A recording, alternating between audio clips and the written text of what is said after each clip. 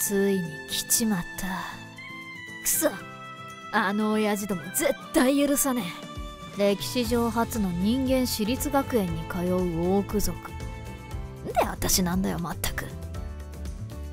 一体何を考えてんだ親父。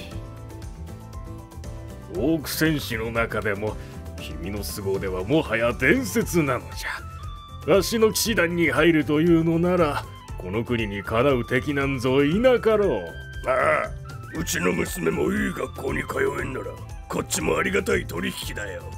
よろしくな人間。ふざけんな親父ども。キラキラしてる人間の学校なんかクソくらいだ。私行かねえからな じゃあめんどい話は終わったからこないだ言った召喚企画？けその話もっと詳しく聞かせてくれや。無視すんなおい。わしもその話に移りたくてうずうずしてたんじゃよ。我が友よ。エルドゥリル学園へようこそ旅サ様。ああ食べさって言うんだけど。よろしければ教室まで案内しますよ。いや自分で行くわ旅サ様にこのお花を持ってきました。どうか受け取ってください。